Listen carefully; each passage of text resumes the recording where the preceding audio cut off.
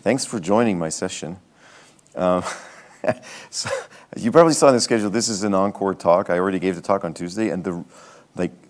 So many people apparently couldn't get in the room. It was already full, and people were standing, and so they asked me if I could do it again, and I said, "Sure, be glad to." Now they gave me this big room, and nobody showed up except you guys. So thanks for coming. You get a very exclusive uh, presentation here, and I kind of feel like I should you know, move closer to you because you're so far away, but uh, we'll, we'll make do like this, okay? As Silona pointed out, you know, you just get to ask more questions, okay? There wasn't enough time. I mean, it was like 10 minutes, but uh, we have more time. So, um, I would like you to meet Steve. This here is Steve. Uh, Steve is a real person. Uh, this is not his real picture, of course.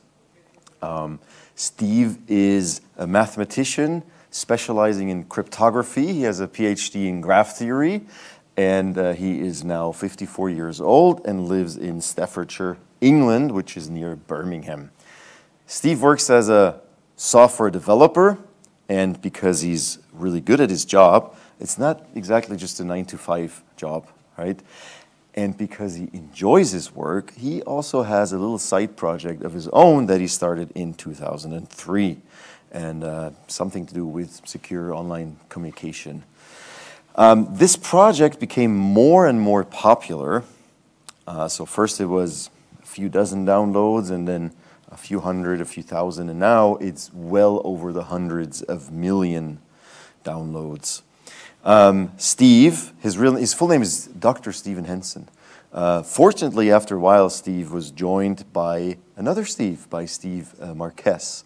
And uh, Steve Marquess, the second Steve, he was more on the business side and, and concept and stuff. And uh, Steve number one, uh, he was still the, the only code reviewer and maintainer from that perspective. Okay? So together they became known as the two Steves. Now, um, Steve, you know, and the other Steve, they worked a lot, put a lot of hours into this project and more and more. And um, I guess, next to a regular daytime job, you know, that can be very exhausting.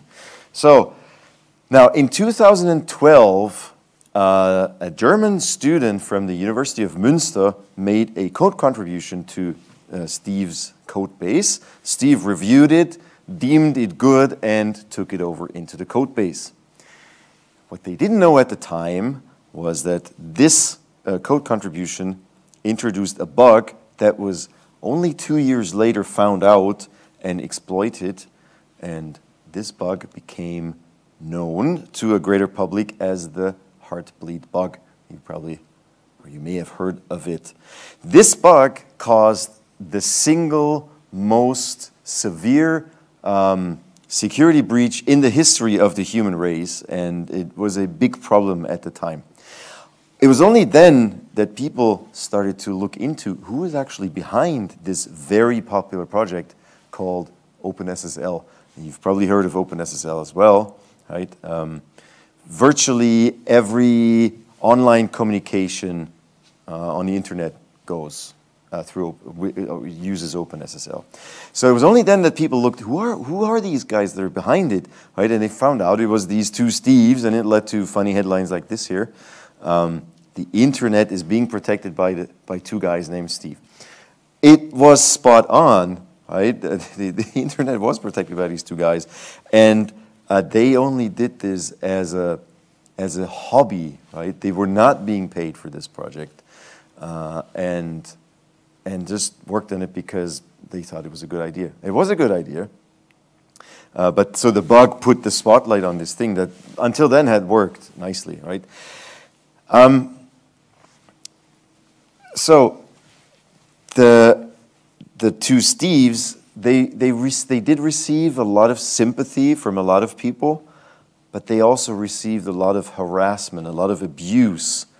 Uh, people called them "you're stupid idiots" and "what were you thinking?" and "this is irresponsible" and "you should have better known better" and so forth. They were even accused of being spies, either for the NSA or uh, for the Russians, you know, introducing a backdoor that could be exploited. Same for that student. He also was accused of being an NSA or a Russian spy or just a plain idiot. Okay, so it was a, it was a really tough time for the two Steves. Now, you've all seen this picture, I assume.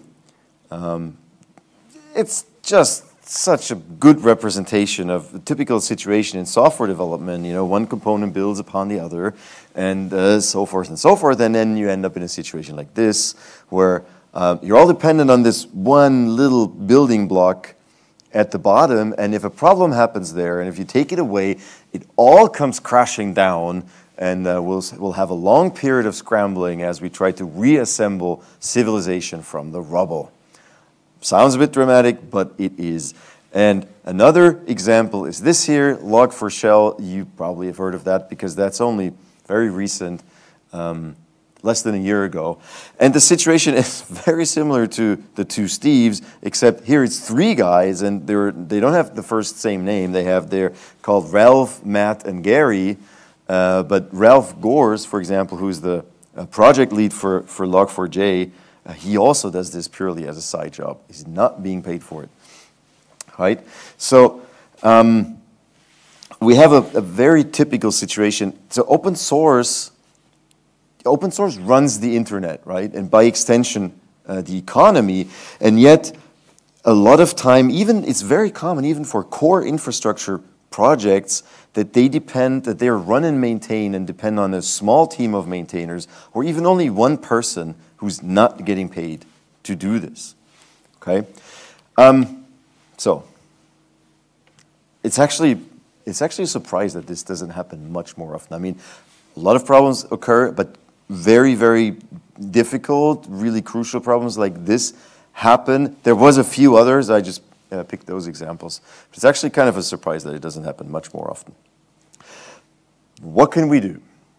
What are ways to remedy the situation? So, I mean, one suggestion, of course, was, um, yeah, I told you so, just don't use open source, it's not safe, right? Okay, I don't think we need to discuss this idea here in this round. But another idea was, um, so we could, we should have, in, in every company, we should have a central governing body that that whitelists open source libraries and checks them if they're safe to use or not. Now, I do think that is a good idea to uh, check the open source libraries that you use. I'm not sure if a central governing body uh, is the right institution to do this, but it's an option. I mean, it's, it's a viable way. Um, but I think I have a few better ideas. So here we go. One is contribute. Like go and make contributions to the open source projects that you use, that you like, and that you probably uh, depend on. Try to strive for high quality contributions. Yeah, I mean, don't let this uh, keep you from making any contribution. Right? Everybody is a first-time contributor at some point, and, and first-time contributions a lot of time are welcome. But um, should be a bit more careful with the microphone. Sorry. Um, so what I'm saying is when I say uh, strive for high quality contributions, you know, don't just throw something out there, some chunks, and, and tell the maintainer, well, you know, you figure out the rest. Okay, don't do this. Try to be as good as possible with your contributions. Now, contributions was never a problem of the two Steves. They had about 200 code contributions lying around at any given point in time, waiting to be reviewed by the Steve. Um, so, but maintainer fatigue is still a problem, uh, and you know when there's one or two maintainers only. So another idea is become a maintainer. You know, take responsibility for an open source project and uh, be one of the maintainers. Okay, like as you get more and more engaged, Maybe they'll ask you to join the maintainer uh, group. Okay. Um, obviously, you can't always be a maintainer for the projects that you use uh, because everybody's time is limited. But maybe you know one project, be a maintainer. The more maintainers there are, uh, it's distribute work distributed over more shoulders. Another idea is become member in a foundation, you know, for example, the Linux Foundation or the Eclipse Foundation. Uh, so we at Mercedes-Benz, we are members of Linux, we're members of Eclipse Foundation, also Cloud Native, Hyperledger, and a few more. So the foundations, you know, they usually provide, for example, a legal infrastructure or uh, security infrastructure and other things, you know, so that's usually a good idea. So I, I believe in foundations. And here is another idea, and that's sort of the point of this talk. Um, consider paying money to open source projects, reward them for their work, and if more and more people do this, then maybe at some point, people like the two Steves can quit their daytime job and do this project that is their own um, as, as their living and make a decent salary, a competitive salary off of it as well. So according to one source, the Steve number one, he made, before the OpenSSL Foundation was formed, he made about 20,000 US dollars a year. That's not very much for a 12 to 15 hour job, right? So give him uh, the yeah reward, the monetary reward that they need and deserve. Okay, so let's look into this a bit more. You know, it probably seems like a bit far fetched that for profit companies spend money on something that they actually get for free, right? But I can tell you that we at Mercedes Benz are doing exactly that. So, as of um, about a year ago, we have started to financially pay uh, money to open source projects that we use, that we need, and that we like. So, uh, if you go to our GitHub sponsors uh, if you go to our GitHub profile, Mercedes-Benz Group here, you can see currently we are sponsoring uh, 34 organizations and developers. The, it, it, doesn't include the ones that the, the uh, sponsorships that have expired. You know, you can choose if you do a one-time payment or if you pay per month uh, for a period of time. And so the, the ones that we did that have expired, they're not mentioned here. Currently we're at 34 and you can see some of our projects here. So curl, uh, curl is a project that is actually not short of, of uh, don donors. Uh, so Daniel uh, Stenberg, the maintainer, he's, I think he's doing okay. Yeah, but still great work that he does and uh, worth sponsoring. Then Fiber, you can see OpenSSL. Um, I have an idea how that got in there. yeah, because we just thought it's a worthy project, right? Sindre Sorhus, I don't know if you know this guy, he's one of the real open source heroes out there. I mean, he has hundreds of projects that, that are used a lot all over the place. So he also makes a living off of it. And I think he's okay as well. Um, but, but the majority, of course, of projects, uh, can, they cannot, the maintainers, they cannot live on it. Right? How do we pick the projects is usually a question I get uh, that we sponsor. So what we do is uh, we ask our community, our developer community, and say, hey, guys, uh, we're going to collect suggestions in the next few weeks. Please make suggestions and tell us which project we should sponsor, which developer we should sponsor, and with how much money, and why. Okay? Then, uh, after a deadline, in our OSPO, we review the suggestions and then we allocate money to the projects and the developers um, we pick, we, we look at the project, we look at the reasoning. You know, somebody says, please sponsor curl because we use curl all over the place. It's one of the projects we really would hurt, you know, if that wasn't there anymore tomorrow. So um, then we look, is it an active project? Because if it's not active, you know, then it, yeah, we don't want to spend money on, on not active projects. Um, we also look, is it a popular project? Is it, you know, does it have 10 stars on GitHub or 10,000 stars? You know, that plays a role and so forth. And then when we have a good feeling, then it's like, okay, we'll sponsor this. All right, we have done this uh, three times already, so three rounds of call for sponsorship suggestions. Uh, we are now uh, very soon kicking off the fourth round, so we're collecting more suggestions, and we hopefully will keep doing this from now on, forever. Yeah, okay, we'll see, but that's the idea, right? Um, in case you think oh, that's a great idea, I want to do this at my company as well. I want to give you some some uh, insights how you can do it and how you can set it up. Okay? So we at Mercedes currently just use GitHub sponsors to pay money.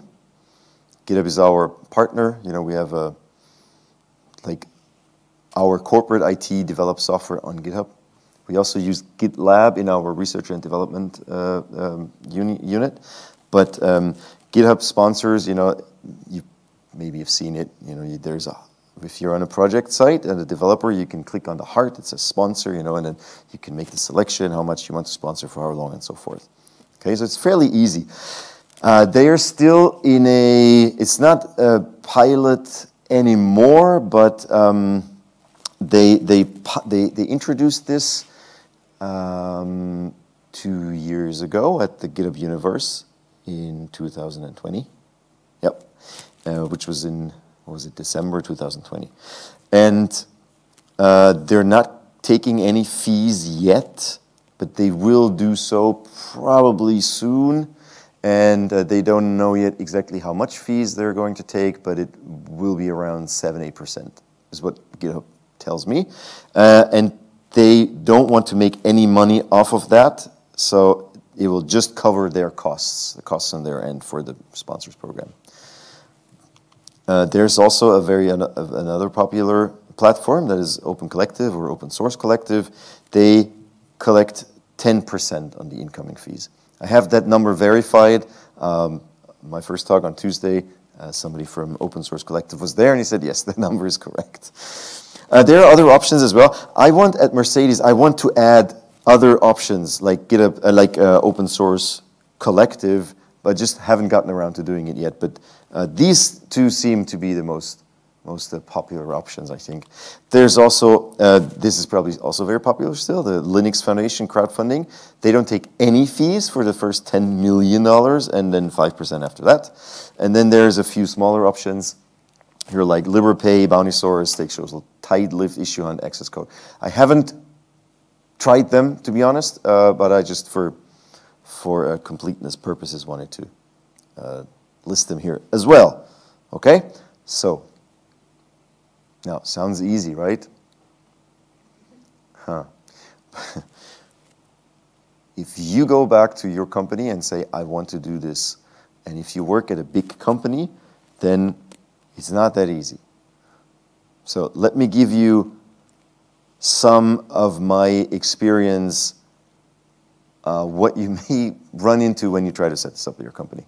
All right. So right now the way it works is we give money to GitHub, and uh, then we tell GitHub via the sponsor button um, which developers or project they should give the money to. It didn't used to be the button because it was still sort of in a piloting stage up until like three weeks ago. They, the, the process was slightly different. Like I gave them an Excel sheet here, and, and uh, you know, put in the numbers and the URLs and everything, and and then they used this Excel sheet and paid the money. Uh, so it wasn't automized, automated uh, yet, but now it is, okay? As of like literally three weeks ago, now I can go and push the button, which is something, something that um, individuals could do bef before even, but for corporations now, the button is active only as of three weeks ago.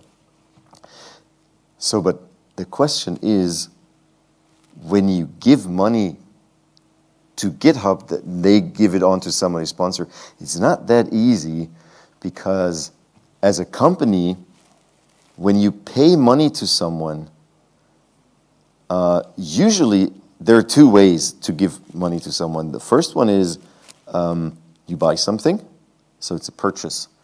And the second option is um, you sponsor someone, traditional sponsorship. Yeah. So, for example, at Mercedes, you know, we we would pay a famous athlete that they wear uh, our logo on their sleeve or chest or wherever. Yeah. They're famous. They're brand ambassadors for Mercedes, something like that. Yeah. Now, what's open source sponsorship? Is it a purchase or is it sponsoring? You know, it sounds like sponsoring, um, but is it really? Because they're not actually carrying our logo on their sleeve and sort of making advertisement for Mercedes-Benz cars, right? So it took me a long time to figure this out, or because it was a new case, you know. Um, so first I went to the purchasing people. And I said, uh, I would like to pay money to GitHub so they can give it to other people. It, is that a purchase? And they said, well, are you buying something? And I said, well, not really. I just kind of want them to be around, you know, and they can do their own thing. And I mean, what I what the first recommendation is, well, okay, you pay them money, and then you tell them, hey, for this kind of money, can you please implement a few issues for me? Okay, that's possible, but that's not the spirit of open source sponsorship, right? Um, they, I, they know best what is best for the project. They have known this project and what's best for the project for many years. So I'm not the one to say this. So I don't want to, hey, we give you $5,000 and then you implement two issues. I mean, that's, okay, as I said, that's not the spirit of, of, of open source sponsorship. So I told purchasing people, no, I'm not buying something. I just kind of like to give them money. Well, okay, then it must be sponsoring. I'm like, okay, so I go to the sponsoring people. I said, hey, I want to sponsor this open source project. You know, and then they say, okay, here are our, sponsoring rules. Um, do they apply? You know, do they wear the logo on the sleeves? Are they famous? Blah, and so forth. I'm like, not really. Well, then it's a purchase order. Go back to them. So I went back to them and I said, you know, this is not helping. So got everybody together and there was discussion and they said, it's sponsoring, it's purchasing, it's, you know, so we went back and forth. And you have arguments for both sides, but it's not completely this, not completely that. So it's sort of in the middle. It's open source sponsorship, it's not something that fits the processes of a big corporation, okay? So uh, at some point we just made a decision and said, okay, let's treat it as purchasing even though we're not actually buying something that we can hold in our hands, but okay, fine. So done. Now the next thing is um, compliance. Uh, that's very important always, uh, but it can be difficult to figure out as well.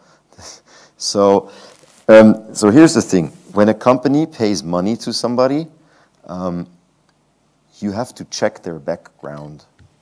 Uh, you have to do sanction list checks because as a company, you're not, you don't want to pay money to somebody who is, um, you know, going to spend it on the dark web or funds dubious things with it, right? And then this, you know, makes the news, and then you're in a Mercedes sponsors. Well, I'm like, oh my God, that's the worst that can happen. You don't want this, right? So you need to put them into a sanction list check. Every company does this. I, am pretty sure every company does this. Um, and so what you do is, there, you know, there are automated systems, and you put in their name and residential address, and then it comes back green, or it comes back not green. If it's not green, then you have to usually make a manual check. And in 99.99% of cases, you know, everything's good. Point, 0.0001, you know, there's a problem, then don't give that guy or don't give that person money. Uh, all right, so I need the name and the residential address of the person. So I go to GitHub and I say, GitHub, I want to sponsor this guy, uh, but I don't have his name. Some, some GitHub profiles have their real name. Uh, some have their email address as well. Sometimes the email address is in uh, the commit message, but it doesn't have to be there. And uh, their residential address is usually not available, right? I mean, I wouldn't put my, why would I put my residential address in my GitHub profile? So I say the, the ones that have an email address, fine, I can ask them. The ones that don't, I go to GitHub and I say, GitHub, can you please give me this person's email address? And then GitHub says, uh, sorry, can't do it, you know, data protection laws. So I'm like, hmm, okay. Because GitHub promises their users, we will not give your information to third parties. We're a third party, even though we want to give them money, but we're a third party. So I had to go and find um, a way to contact uh, this person. So I, some I found on LinkedIn, some I found um, on, on, on, other social media, some, um, what was another thing? Uh, I, I Googled, you know, found them, and so, but I had to do this for every project, right? Um, right, so now I have an email address. And uh, then I send them an email, I say, hey, can I please have your residential address? Uh, because I want to give you money. And uh, so, I don't know, all of a sudden I'm this guy on the internet that writes emails to people saying, hey, I would like to give you free money. Can I please have some information from you? And, and uh, you can trust me, right? And I'm like, how did this happen? Okay. Um, they, they actually did reply, like all of them replied in the end. Um, some right away, some uh, after a reminder, and some after a couple of weeks. But I guess, you know, my, my email address and, and, my sender address and my, my footer and everything seemed authentic enough that they actually did reply. But, but imagine the situation. It was really weird, okay? And now, one step back, before I could even send this email, you know, I had to align with our compliance people on that. I said, compliance people, I'm going to send them an email to ask for their information. Is that fine? And they said, whoa, whoa, whoa hold your horses, you can't do that. Like, why not? I want to give them money. And then they said, yes, but, you know, you have to tell them all about data protection laws. You have to give them a reason why you need it. You have to tell them where you're going to store that information and for how long. And um, that at any point in time they can re revoke their consent, you know, blah, blah, blah. They gave me like a two page document. Here, this is the email you can send them to. And I said, no way. If I do that, you know, I, this, this was two pages in perfect legalese. Yeah. I said, I, I want to, you know, I want to send him an email that normal people can understand. At which point our lawyer said that he actually did consider himself to be a normal person. but uh, so, um, legal people are a normal person as well. Um, anyway, I, I so I really shortened that text down, you know, to understandable English, and I had to say, can I word it like this, and then that was fine, you know. But it took a while uh, till we got there. So okay, then I had the text, then I sent them an email, then I got back the information, then we had to put it in the sanction list check, and then uh, we could give them money. So point is, it's not that easy. These are all the things that you might run into in your company as well. It took me months to set this up. And it was not because I was procrastinating. I was, of course, I have a lot of other things to do as well, but this was just, you know, talk to these and them and back and around and so forth. So it was, it was an interesting process. But in the end, we made it. And you know, uh, the first round took a long time. The second and third round were, were much easier. And um, so GitHub and their payment provider, Stripe, they also do this check, these uh, sanction list checks. So at some point we said, okay, they do it because they also don't have any interest in being in the news with funding, you know, nefarious causes. So um, we don't have to do this anymore on our own. Again, a third time, right? Two times is enough. Okay, that's that. Now, um, once you have done it, here's some of the feedback that we got from the people that we sponsored. So I'm hum- I don't know if you can read in the back. Uh, I'm humbled by the fact that people found out about my project and actually use it. Thanks, it really gave me the kick I needed to continue working and that good feeling one gets from contributing to something. This helps the team to be even more motivated to increase the quality of the project.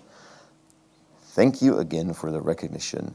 I am also receiving a lot of contributions from your team, which I greatly appreciate. So I like this comment especially because, you know, we're not only giving them money, we're also uh, giving them code contributions. And then here, we're very happy to get a sponsorship and hope it will open up all sorts of new avenues for collaboration. Now, everybody's, most people tend to be very happy when you give them money. But this here it, it shows that actually what seemed to matter more to a lot of people was the recognition, you know, the pat on the shoulder, the, the thank you for, for your good work. Yeah. Um, also, by the way, so when we sponsor a project, as I said, right now we still only do GitHub sponsors. Plan to add the other options in the future. But um, so if a suggestion from our developer community comes and they don't have GitHub sponsors enabled on their profile, um, we send them a message, an email, or or um, an issue saying, "Hey, have you considered GitHub sponsors? Could you please add it because we want to give you money?" And uh, then some projects do it. Some is like, "Well, can't," or "We'll do later," something like that. But uh, one project in particular um, gave us the feedback, like they enabled GitHub sponsors, set it up on their side, and then uh, a couple of months later they said, "Hey, you know what, uh, Mercedes? Uh, thanks again, actually, for asking us to do this." Because after we set it up, we received money not only from you, but we have gotten 20 other sponsors since then. And that's a particularly great feedback because that's actually sort of really the point of doing this. You know, we can't finance everybody on our own, but if many people, many companies do this, you know, then it will add up to amounts uh, where maintainers can actually maybe live off of it, right? Now, um, moving on and uh, sort of uh, rounding this up here. Um, here's our open source landing page, open source mercedes-benz.com. You can find uh, our projects, our open source projects, some, some articles, some news articles. Um, there's not that much there yet because it's still fairly new. And there are also not that many open source projects yet. There's quite a few, but not that many. But we're adding more and more as we go along and as we um, move on in open source. You can also, I want to point this out, here in the top right, you can find the manifesto. This is, go there, this is our FOSS manifesto, the Mercedes-Benz FOSS manifesto. And it states that we believe in open source. We ask our developers to be active in open source and inner source. Um, we ask them to contribute, to become active members of the open and inner source communities. And they can do this in their working time, of course, right? Because we ask them to do this. This is really important because, you know, like 10 years ago, um, even like six years ago, actually, uh, some of our developers, they, they weren't really allowed to do open source yet. Um, and, but so they still used open source libraries. And so sometimes, you know, we'd have the case that some developer would go home in the evening, contribute a bug fix to the project that he was using in his work so he could the next day have that bug fix available, right? And that's really stupid. So we, none of that anymore, right? We're now open source is part of our Mercedes corporate IT strategy. Um, oh yeah, here's a, the 10 seconds of advertisement. If, if uh, you like to join Mercedes-Benz, we're hiring, okay? And uh, so come find us. Uh, you know, you see us maybe in the logo. Here are two more colleagues from Mercedes, uh, and there's a few more. So if you're interested, uh, we are hiring. And uh, yeah, I know everybody's hiring, but but we're a really cool company, yeah. So and uh, we have nice cars, okay. All right. Um, so thank you for for being here and listening. I hope I've inspired you. And uh, I hope that you can think about it maybe, then you and your company can be sponsors for open source as well. Because if more and more companies do this, then we can really change the world. We can really make a difference. Yeah? And because it supports and fosters open source. Because it will help to ensure that the projects that we need and like, that they will still be around tomorrow. And because it's the right thing to do. Yeah, so Thank you very much. We have time for a few questions for, well, we have quite a few minutes. Thanks so far. Thanks. Do we, do we have any questions? Any questions? Yeah. Do we have a microphone for? No? Okay, it's just maybe, I'll repeat the question.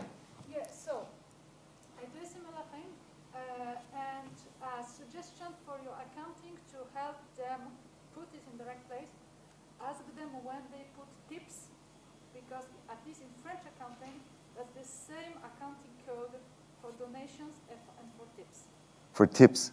Yeah, tips like in restaurant or Ah, that's the same in, in French accounting. It's exactly the same accounting code. yeah. Okay, Check it out. I'll do that. Um, the other thing. So let me repeat this for, because, you know, I think we're recording so that uh, the uh, internet listeners, can- so, so the tip was from French accounting. Maybe check if uh, the accounting code in France is the same for tips, you know, in restaurants, and uh, for donations like this. So maybe that could help. Thanks. Try, try in German accounting. Yeah. So, and then the other, my experience from, with, donations, I'm doing directly. Uh, my, my experience is I'm doing donations directly, and the difficulty I have is that a company needs to get an invoice Yeah. for everything that is donated. And uh, it means that there needs to be an organization that can do an invoice on the other end. And um, my difficulty has been for some even organization existing open source that it was difficult to get an actual invoice. For some cases, it took just months to just get the confirmation. What th- that made accounting a little bit nervous. Yeah, okay, thanks. So in this case, that was actually not the problem because the invoice would come from GitHub. You know, because we sort of park the money in GitHub and then they distribute it. So we got the invoice not from the projects, but from GitHub. Um, still took a while, but I think that was mostly on our end. yeah, okay, thank you. Thanks. Okay, do you have any more questions or remarks or? Ah, Okay, good. Then, uh, I mean, I'm, I'm going to be here until tomorrow.